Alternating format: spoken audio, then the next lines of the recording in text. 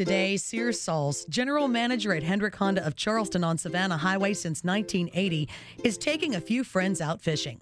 We're not quite sure what it is about Sears, but it seems that wherever he goes and whatever he does, things just work out for him.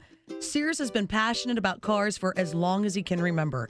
He understands the importance of safety and reliability. Nothing gives him satisfaction like watching a new customer drive home happy.